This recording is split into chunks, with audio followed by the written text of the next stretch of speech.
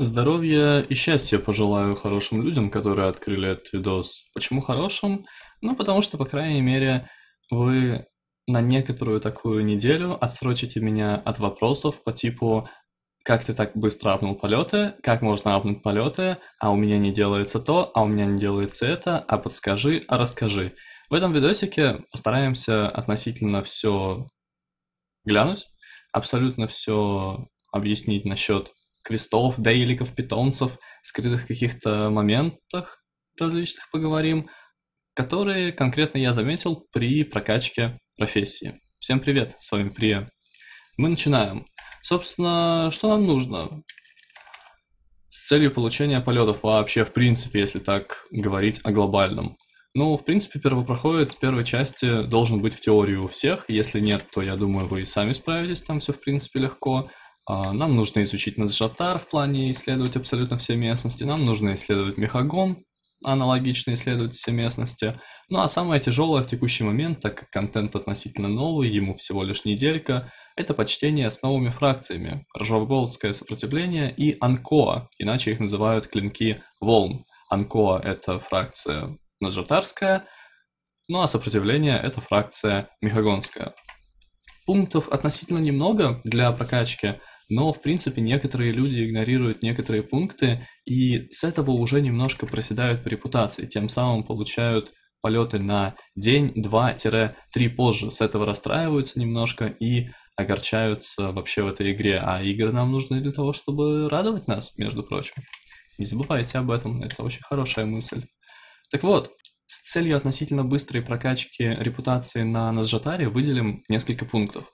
Первый – это выполнение заданий. Самые обычные желтые задания, которые нам даются. Как можно быстрее стараемся их выполнять и просто-напросто наслаждаемся ими, раскрывая сюжетную линию Наджатара.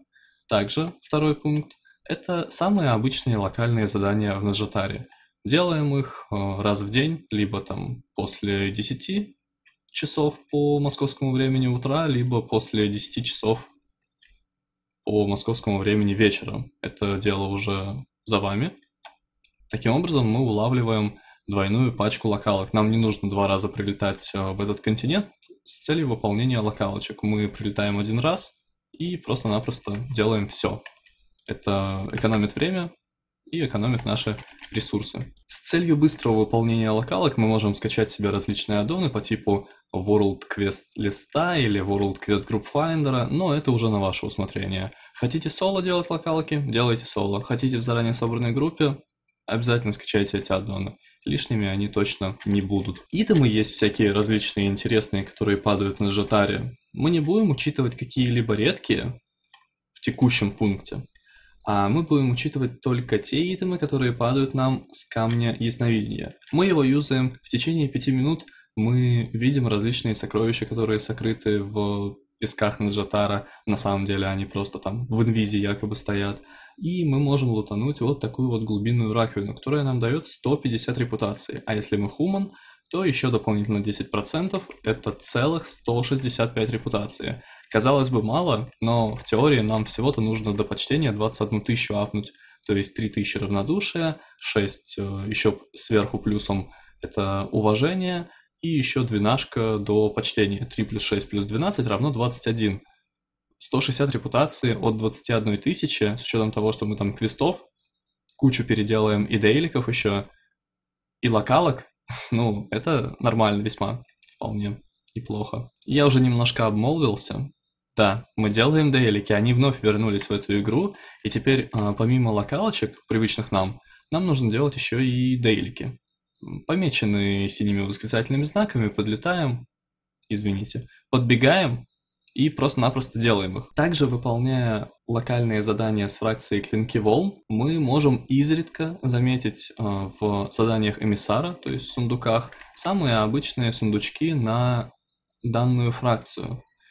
Если вы только недавно вернулись в игру, то, насколько я правильно помню, он у вас еще будет. Поэтому если вы посмотрите видосик в течение там дня-полутора с момента его загрузки, то, наверное, вы его словите и получите дополнительных полторы тысячи репутации. А это, между прочим, уже число такое хорошее, внушительное. Почти в самом центре изредка наги призывают мобца, элитного, жесткого. Он, в принципе, на обе фракции работает, то есть даже если Орда его первая запулила, то и Альянс его может бить. Вообще без разницы, он считается общим. Без каких-либо даже модификаций он отмечен будет на карте таким э, синим, синим фиолетовым черепком. Подлетаем, киляем, лутаем что-то наподобие квест-итема, и все. Наслаждаемся полученной репутацией. Спавнится он примерно вот здесь. Если мы скачаем модификацию том-том на координаты, то это будет 48, 40. В текущий момент идет PvP событие. Как мы все прекрасно знаем, Орды играет больше. Это доказанный факт еще с того момента, мною увиденный, когда было голосование по чоперам Азерота. Я думаю, кто давно играет, следит за миром Варкрафта, тот знает, что это за событие было давно-давно еще. И вот э, орды-то реально больше, и PvP события они выигрывают гораздо чаще. Активируется оно только в тот момент, по-моему, когда у вас вармод включен. Если вы выиграете в PvP события, вы также получите репутацию. Чтобы в нем выиграть, нужно набрать 3000 очков, для этого нужно удерживать точки, убивать э, мобцов, убивать э, игроков. Ну и то есть тот момент, когда вы какой-то из этих пунктов сделаете, но даже если не выиграете, то вы там все равно что-то чуть-чуть получите. Репутацию навряд ли, но какие-то баджи уж точно. Наша цель, конечно, выигрыш. Малым мы ограничиваться не будем. Выигрываем, получаем репу. Не выигрываем, но делаем некоторые условия, э, получаем баджи, да. Какие-то там самые обычные. Не на репу, по-моему, суть вот в чем. А это грустно. Я не зря подлетел к этому месту. А, это место чуточку скрыто, но, в принципе, по ходу видео вы уже увидели, как я к нему летел. Это лаборатория Мордиваса. Тут квест, самый обычный. А мы взаимодействуем с этими кристалликами, сдаем туда всякую вот эту странную океанскую взвесь странный вулканический камень. Минералочку сдаем, и нам вызывается мопчик. Мы его киляем, лутаем с него квеститом, сдаем его этой книженце, и все, лутаем репутацию, примерно там 500-600. Это весьма хорошее количество, такое прям... Пандария принесла много нововведений, начиная от самого личного пространства в виде огородов, заканчивая очень полезными битвами питомцев. Мы используем их также для своего блага. Есть у нас зеленые лапки на карте, это самые обычные питомцы, а есть желтые, это боссы. Нам их нужно убивать. Мы их убиваем, побеждаем единожды и получаем баджик на репутацию, квеститом. С этого квеститома мы получаем около 250 репутации. Таких питомцев очень достаточное количество разбросано по всему Наджатару. С целью того, чтобы относительно оптимально килять нормально всех этих мопцов, питомцев, нам нужно зайти на сайт. Очень хороший сайт. Прям, ну реально достойный. Сейчас мы им научимся пользоваться. А сайт у нас называется wovpetguide.com. Мы заходим на него, открываем вкладку БФА, открываем вкладку Наджатар и смотрим, к примеру, какой питомец к нам ближе всего. Ну, допустим, мы находимся в альянсском лагере и ближе всего к нам а, Равериус да? Мы его ищем тут в списке, смотрим, где он тут у нас. А мы копируем координатики, мы вставляем их в чат, и если у нас установлена модификация том-том, то, конечно же, нам поставит метку на карте. Летим туда и радуемся тому, что мы его нашли. Но это одна проблема. Но нам же его еще нужно убить. С целью убийства его, с целью подбора сетапа. Мы листаем самую верхушку, мы смотрим в левый столбик, ищем этого же питомца, где он тут у нас, Равериус. Открываем эту вкладку и смотрим, какие питомцы нам нужны с целью того, чтобы его спокойно выиграть. Также написана ротация питомцев, то есть что мы юзаем в какой раунд, как мы там меняем питомцев и все такое прочее. Также люди внизу даже комментарии свои оставляют. Если у нас нету каких-то таких питомцев, то мы наводим в правый флажочек, и у нас показываются абсолютно все альтернативы. Питомцы должны быть 25 уровня, насколько я правильно понимаю, так как боссы, которых мы будем убивать, они никак не скалируются. Таким образом, с помощью сайта мы получаем огромный просто прирост э, по убийству питомцев, и мы спокойно способны килять различных каких то ни было элитных питомцев. Вот и все. С этого мы лутаем репутацию и в дальнейшем наслаждаемся полетами, конечно же. То есть там получается 12 питомцев, 250 с каждого, так это суммарно 3000 репы. Вдумайтесь, нам суммарно нужно 21 тысячу для получения полетов почтения, а 3000 мы получаем только за убийство всех 12 питомцев. Я считаю, это очень много. Это очень много. Это одна седьмая, ничего себе. Ну и также мы не забываем килять самых обычных рарников.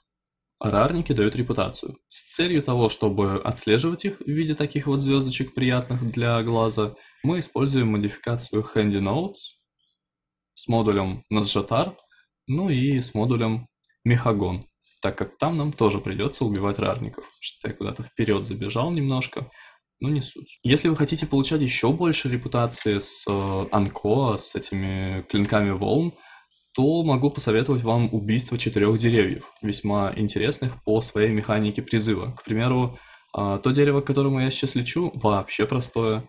Нам нужно всего лишь потратить 40 жемчужин, купить питомца и с призванным питомцем, утонувший птенец, подойти к деревцу, и оно активируется. Но так как информации очень много сейчас насчет этих деревьев, они активно убиваются. Можно найти заранее собранную группу какую-нибудь. Внимательно следите, то, что там выключенный вармод или включенный вармод. То есть подсоединяйтесь к правильным группам с целью того, чтобы убивать спокойно моба и в дальнейшем его лутать.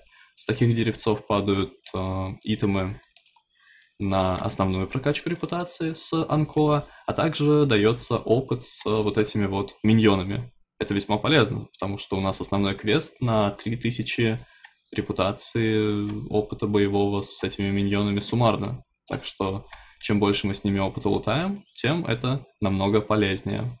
Идем дальше. Дальше у нас Мехагон по прокачке репутации. Ну, собственно, вторая фракция, которую нам нужно прокачать, это а, ржавобольское сопротивление, вот эти вот гоблины и гномы. Надо бы, наверное, переместиться туда, да, для полноты картины. В принципе, можно сказать, что процесс прокачки похожий. То есть мы также делаем квесты. Я особо не буду распыляться в объяснении этой фракции, потому что, ну, реально очень похоже. Объясню только основные моменты, которыми эта фракция отличается от э, Назжатарской. Мы также делаем локалки, мы также делаем квесты, мы также делаем дейлики. Хотя локалка там только одна, и квест там почти только один, иногда только чуть больше, там в основном дейлики. Так что делаем их все абсолютно. Есть немножко скрытые, которые на карте не обозначены. Это небольшой минус. Либо, может, я просто слепой не заметил. Хотя вроде бы очки ношу. Ну, странно, должен был заметить. Так вот, придется немножко по карте побегать с целью того, чтобы поискать. Пока мы бегаем по карте, мы также киляем рарников. Пока мы бегаем по карте, мы также сражаемся с элитными питомцами, используя сайт, который я показал вам, рассказал, как им пользоваться, и ссылочку, конечно же, оставлю на него в описании. Самое главное отличие Мехагона от Назжатара — это чертежи. Есть чертежи, которые просто дают какую-то полезность, или там маунта, к примеру, а есть чертежи, которые являются полноценными квестовыми итемами. Существует два интересных рецепта, которые есть на Мехагоне в самом левом нижнем углу на островке в западных скалах. Это Грохотрон и Кигератор. Дропнув их и скрафтив по чертежам определенные итемы, ну, которые, собственно, изучаются с помощью этих чертежей, одноименные, можно получить квест-итемы. Эти квест-итемы при своем использовании и последующем завершении квеста по ним дадут 500 репутации. А это, в принципе, неплохо. Если вы хуман, то 550. Это еще больше. Классно? Классно.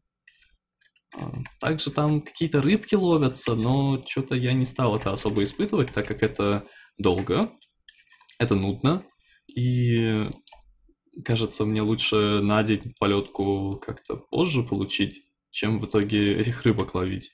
Я половил-половил их маленько, и что-то как-то не удалось. Может, из-за того, что навык маленький. Хотя странно. Люди писали, что там чуть ли не на единичном навыке все это дело вылавливали. А, в общем, относительно странно. Про питомцев сказал, про локалки сказал, про квесты сказал, про чертежи сказал, про деревца на Нажатаре сказал, про скрытые моменты вроде бы рассказал. Ну и все. То есть как-то так в итоге все это дело получается. Надеюсь, видосик был вам полезен и что-то вы интересное для себя все-таки подчеркнули. По итогу, если оно так и есть, дайте знать об этом в комментариях. Если вы какой-то свой маленький способ знаете по прокачке репутации, может быть, я что-то упустил, хотя в принципе невозможно, дайте также об этом знать в комментариях. Всех вам благ, счастья, здоровья, берегите ноги. Увидимся, летая по Култирусу и а также на Сжатару и Мехагону. До скорого!